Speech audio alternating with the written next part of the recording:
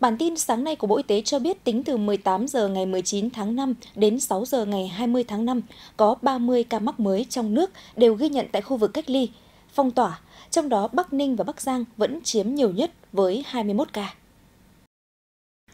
Trong số 30 ca mắc mới, Lạng Sơn có 1 ca, Ninh Bình 2 ca, Thanh Hóa 1 ca, Bắc Ninh 8 ca, Hải Dương 5 ca, Bắc Giang 13 ca.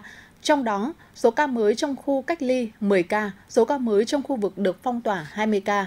Tính đến 6 giờ ngày 20 tháng 5, Việt Nam có tổng cộng 3.247 ca ghi nhận trong nước và 1.473 ca nhập cảnh.